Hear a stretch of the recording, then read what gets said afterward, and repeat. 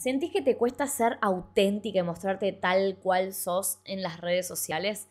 ¿Tenés tu proyecto y querés ser vos auténtica como sos realmente y eso no podés hacerlo? Te voy a contar por qué es.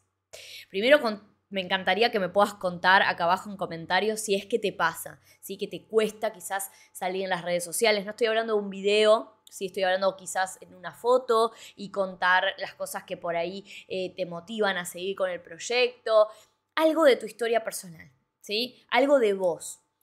Bien, eso me encantaría que me cuentes. Después, por otro lado, te dejo acá abajo el link para suscribirte a mis historias para empoderarte. Los viernes vas a recibir un mail donde te cuento una historia de la vida cotidiana, porque todas las historias, todo lo que vivimos en la vida día a día, minuto a minuto, tiene un aprendizaje.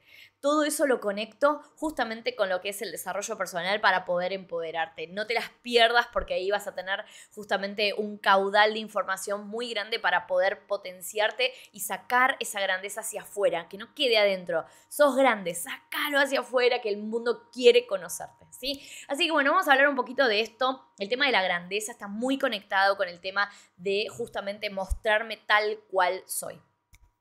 Y les voy a contar un poquitito, un poquitito para hacerles la introducción de algo que me pasó en dos etapas, ¿sí? De mi proyecto. La primera etapa fue, em, era tal cual, tal cual soy, ¿sí? Pero una vez viene una amiga y me dice, Mari, bueno, para, si vos querés atraer más gente a tu negocio, tenés que ser más formal, más seria. O sea, no puedes ser así porque la gente va a pensar esta chica que está diciendo, que está haciendo.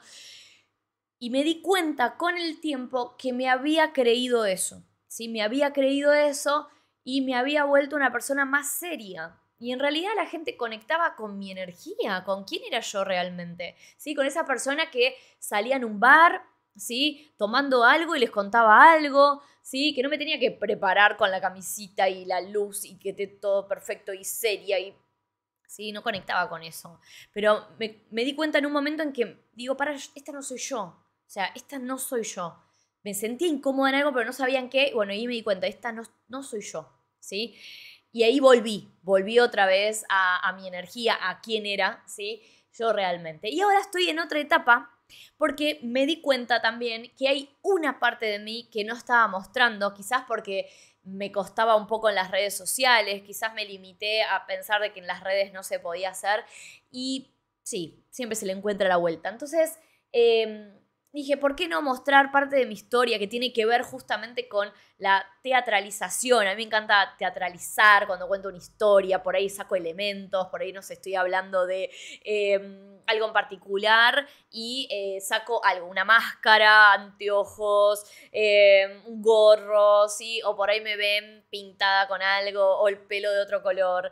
Bueno, a mí me gusta eso porque me gusta eh, divertirme con lo que hago. Y cuando cuento una historia, porque me encanta contar historias, Hoy lo hago por, por mail, lo hago en las historias, ¿sí? De Instagram, lo puedo hacer también acá, pero me gusta teatralizar, ¿sí? Con elementos, a mí me encanta, soy muy visual, entonces me encanta tener elementos para contar, incluso si me ven, están presencialmente conmigo, em, cuando te cuento algo que me pasó, no puedo dejar de hacerlo. Es más, mis amigos me conocen y saben que es así. O sea, me levanto de donde estoy y lo empiezo a dramatizar.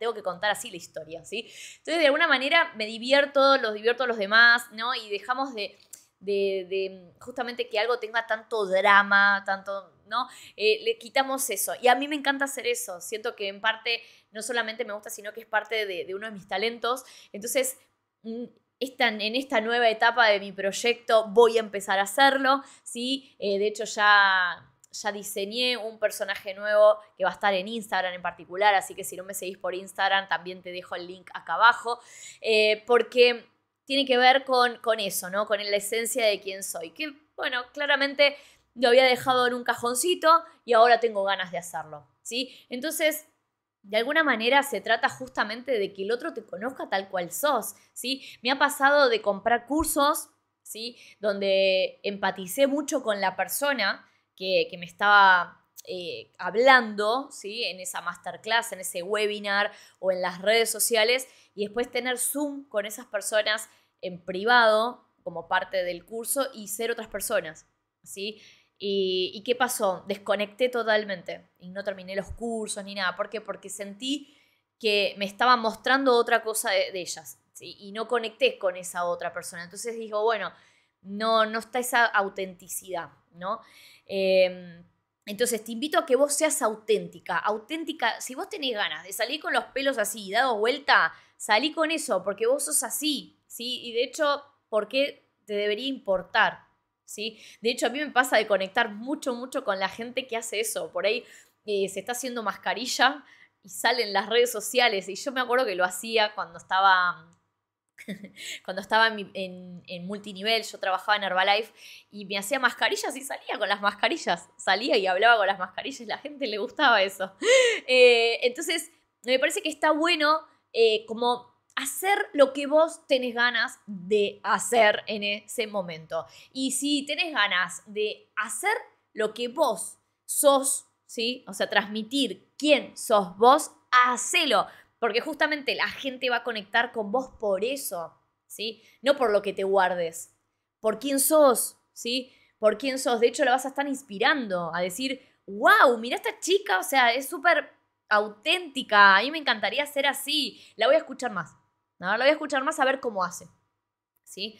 Entonces, te voy a dejar tres puntos, ¿sí? ¿Para qué? Para que vos los puedas empezar a trabajar en vos y de alguna manera empieces a conocerte más, porque esa autenticidad viene justamente de reconocer quién sos, de reconocerte, de recordar quién sos, ¿sí? ¿Por qué tenemos tanto miedo a, a la exposición, ¿sí? ¿Por qué tenemos tanto miedo a eso? Porque tenemos miedo a ser aceptadas, ¿sí? Porque ya desde chico nos ha pasado que por ahí, si hacíamos algo bien, mamá nos premiaba, ¿no? Entonces, si me equivocaba, venía el castigo, ¿sí? Entonces, de la forma que sea, ¿está bien? Pero venía eso. Entonces, de alguna manera, incorporamos eso a nuestra vida y hoy por hoy, ¿qué hacemos? Ocultar realmente quiénes somos para ser aceptadas. Entonces, vamos chusmeando qué hacen otras personas y le digo, ¿por qué lo hice? ¿Sí? Ver qué hacen otras personas, ah, esto le funciona, ah, esto lo, bueno, voy a ver si lo implemento. Y después te das cuenta que en realidad esa no sos vos. No sos vos, te estás mintiendo, ¿sí? Te estás mintiendo. Entonces, el primer punto que te recomiendo para empezar a conocerte es reconocer tus talentos. ¿sí? Si vos no, no podés reconocer lo que haces de manera natural, como así les digo yo esto de eh, teatralizar, de grande me di cuenta. De grande me di cuenta que me gustaba hacer eso y que lo hacía natural y que tenía que contar algo y me levantaba y lo contaba. De grande, ¿sí? Pero pude descubrir que era uno de mis talentos.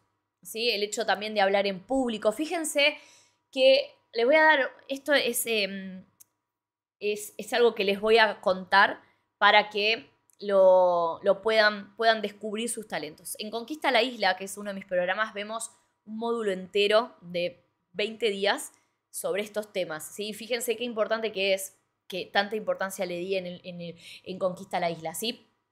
Lo que tiene que ver con talentos fíjate que los, los miedos matan talentos. Entonces, acá lo importante es primero visualizar. Digo, bueno, a ver, ¿a qué le tengo miedo? Le tengo miedo a, por ejemplo, em, a, a, ver, miedo a hablar en público. Por ejemplo, miedo a hablar en público. Bien. Ese miedo, ese miedo viene justo de la mano del talento hablar en público. Pero ¿qué pasa? Como tenés miedo a equivocarte, ¿sí? hablar y equivocarte, lo dejas de hacer. Pero sin embargo, sos perfecta en eso y no te lo reconoces. Pero el miedo te muestra que sos talentosa en eso. Les voy a contar cómo descubrí que mi talento por hablar en público y también, digamos, eh, la pasión, porque me apasiona, ¿sí? Me apasiona. Em, estaba una vez en mi otro emprendimiento, estaba haciendo prensa, ¿sí? Y la periodista me dice, bueno, mira, Mari, mañana tenés que estar en el noticiero porque te quieren parar una nota. no, no, no, no voy a ir, o sea, no. No, ni loca voy, o sea, y ella me decía, pero ¿cómo no vas a ir, Mari? ¿Sabes la, la oportunidad que se te va a abrir acá, que la gente te vea? Digo, no. Mari, anda. Así fue. Tal cual. Eh, entonces, eso me enteré el jueves a las 6 de la tarde, no tenía chance de preparar nada, ni tampoco sabía lo que me iban a preguntar. Y a las 10 de la mañana me pasaban a buscar, al otro día. Ese día no dormí, obviamente, me descompuse, todo. Y dije, bueno, voy igual, qué sé yo, algo tienen para mí. No quería entrar al estudio. Como una niña, no quería entrar al estudio. Y la chica me dice, la, la conductora me dice, no, mira, mira, ya, ya está, ya te anunciamos, tenés que salir. Bueno, cuando salgo, primero me pregunté cuántos minutos eran. Me dije, máximo son tres minutos, máximo, sí, máximo. Bueno, estuvimos siete minutos. ¿sí? La nota fue divina, a mí me encantó, yo quería estar más tiempo. Salí de ahí con una felicidad que digo. ¿Qué pasó acá? Me encanta esto, me encanta. Acto seguido, porque fue todo para el mismo momento, me pasó que eh, me convocaron para ser docente en la facultad y yo hacía tres meses que había, me había recibido, hacía poco. Terminé en diciembre y en marzo estaba ahí para la entrevista y en la entrevista me dice el jefe de cátedra, bueno, Mari, vas a tener un grupo a cargo de 40 personas aproximadamente. Y yo pensé iba a estar como ayudante del docente, no que iba a estar como docente a cargo de un grupo. Y en ese momento fue como, no, no, ¿qué hago acá? Entonces, estaba, por un lado era, o me voy y me pierdo la oportunidad de conocer esto, o me quedo y veo qué onda. O sea, quizás, quizás esto me guste. Estaba en el aula eh, y ni bien, ni bien estaba con mi, estuve con mi grupo y lo vi y, empecé a hablar y les empecé a no sé de dónde me salían las palabras realmente, a veces es algo que no, no, no sé de dónde salen, pero bueno, salen. Y, empecé a hablar y empecé a contarles y, y, esto y esto y esto. Y yo veía las caritas de todos que hacían así. Digo, chicos, me expresé bien, eh, hay algo que quieren preguntar y una chica que estaba al lado mío me dice, no, Mari, todo perfecto. O sea, fue como clarísimo. Y me fui con una sensación de, digo, esto es lo mío, o sea, esto es lo que quiero hacer. A partir de ahí empecé a hacer cursos de oratoria, empecé a conocer un poco más ese mundo, pero lo importante acá es que vos puedas que puedas reconocer eso. Es que viene a través de un miedo. Por ejemplo, tenés miedo a delegar en tu negocio, ¿sí? Seguramente el talento que tengas es justamente el de ser un líder, ¿sí? Justamente ese talento natural de ser líder. Pero como buscamos la perfección y tenemos miedo a equivocarnos, no sale a, flote eso, ¿sí? El hecho de, por ejemplo, tener miedo a exponerme porque quizás eh, si no lo digo, no, no, no, no, no cito una fuente de donde saqué esta información y, no, no hablo sobre autores y no, no, no, no, no cuento qué dice este libro, este otro, eh, en las redes, por ejemplo, ¿no? Para volverme creíble para la gente y que no sienta que la estoy estafando, por ejemplo, si ese es el miedo a salir por eso mismo, seguramente seas una persona que sabe un montón. Seguramente seas una persona que tiene el talento de ser autodidacta, de conectar temas, ¿sí? de estar em, siempre estudiando, aprendiendo. Pero eso de sentirte que no sos suficiente es porque tenés miedo también a equivocarte. ¿sí? Pero ese es tu talento y no salís quizás a las cámaras o no, no contás tu historia o lo que sabes o tu historia de superación personal para que el otro pueda escucharla o ser realmente auténtica con cómo sos por ese miedo. Entonces te invito a eso, a que descubras cuál es tu gran miedo y detrás de eso está tu talento. ¿Sí? Después otra opción es que le puedas preguntar a varias personas que, que no se conozcan entre sí, ¿sí? Que les preguntes, ¿para qué te llamarían? ¿Sí? ¿Para qué me llamarías? ¿Sí? Fíjate, con esos dos puntos vas a poder encontrar tus talentos, o por lo menos alguno, ¿sí? El segundo punto que te recomiendo es reconocer qué es lo que te hace fluir, ¿sí? ¿Qué es lo que te apasiona? ¿Qué es lo que haces que se te pasa el tiempo y ni te das cuenta? ¿Sí? Porque eso hace que también conecte con quién sos vos, ¿sí? Y te vas a mostrar auténtica. Por ejemplo, a mí me encanta bailar. Me encanta bailar salsa. No, no es mi talento, porque no sé bailar salsa. Estoy aprendiendo, estoy adquiriendo esa nueva habilidad, pero me divierto y me hace fluir. O sea, estoy cuatro horas ahí y para mí fueron dos horas, ¿sí? Estoy seis horas y para mí fueron cinco minutos. se me pasa volando, ¿sí? Porque me hace fluir, estoy en ese estado de felicidad continua. Bien, es parte de tu historia, eso lo puedes compartir con la gente también, ¿sí? Esa sos vos, incluso a mí me encanta compartir también cuando me equivoco, porque soy un ser humano y me divierto también haciendo eso, ¿sí? Pero todos podemos, eso es, eso es lo que te muestro, que todos podemos, todos podemos, pero es eso, es, es, es, mostrar algo de tu historia, es mostrarte a vos lo que te gusta, no tengas miedo. Ay, pero yo tengo un negocio que, o sí, un negocio de ropa o un negocio de joyas, ¿y cómo voy a mostrarme bailando? ¿Por qué no es tu negocio? Vos haces lo que querés con tu negocio. Si no, seguí en un empleo o andate a un empleo que ahí te dicen lo que hacer. ¿sí? Pero si es tu negocio, vos pones las reglas de tu negocio. Vos definís con quién trabajar. ¿sí? Entonces, vos elegís a quién atraer. Quizás atraes a alguien que le gusta bailar salsa y dice, ay, mira esta chica, ay, yo cuando comencé también era igual, o no sé qué es, lo que sea, ¿sí? Conectás con ellos, con tu historia, con quién sos. ¿Sí? Y el último punto es tu historia, justamente.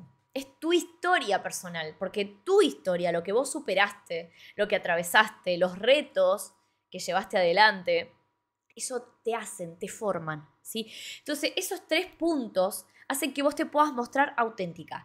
Valorando tu historia personal, vas a hacer que el resto te valore a vos, porque vos te vas a poner ahí, ¿sí? Mira, esta es mi historia, así como vos tenés la tuya pero nadie te puede objetar, nadie te puede juzgar, porque es tu historia. Esa sos vos en función a tus creencias, a cómo te criaste, ¿sí? a las emociones que fuiste viviendo, a los libros que leíste, al barrio donde viviste, a los padres que tuviste. ¿sí?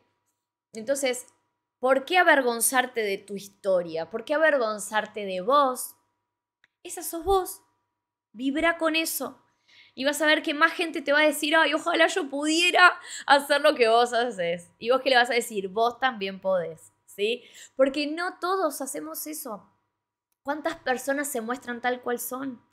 Fíjate cuando conoces a alguien nuevo, ¿te mostrás tal cual sos? Conocí a alguien hace muy poquito que me mostraba eso, me mostraba justamente esa autenticidad en todo, en la forma de hablar, en lo que decía, en lo que hacía, era coherente, ¿sí? Él abrazaba su historia, abrazaba quién era, ¿sí? Y no tenía problema mostrarse tal cual es, ¿sí? Y eso me encantó, me encantó, porque siempre estamos como ocultando ¿no? una parte de nosotros para ver si el otro nos quiere así. En algún momento va a saltar quién sos, ¿sí? Porque no podemos ocultar tanto tiempo quiénes somos. Entonces, ¿por qué no abrazar esa historia? ¿Por qué no abrazarte a vos y contarle al otro también quién sos? ¿Sí? Eso te va a hacer sentir livianita, livianita. De verdad que es así.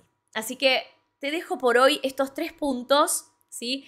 Reconocer tus talentos, reconocer lo que te hace fluir y anotar todo lo que es parte, lo que forma parte de tu historia. ¿Sí? Recordar todo eso, porque esa sos vos con todos tus logros, con tus caídas, todo eso sos vos. Entonces tus talentos, lo que te hace fluir y tu historia va a hacer que seas totalmente auténtica, que te valores, te quieras y te ames. No vas a necesitar a un otro que haga eso por vos, porque vos ya lo haces por vos. Eso es lo único que te quiero contar para cerrar este video. Espero que te quede y que te animes a ser vos, auténtica tal cual sos. Y que eso lo puedas implementar a partir de ahora en tu negocio, porque eso va a hacer que conecte con la gente. No son tus productos, no son tus servicios. Sos vos con tu historia y tus talentos que van a conectar con ese otro. ¿Sí? Te mando un beso grande y espero que te haya servido este video de hoy.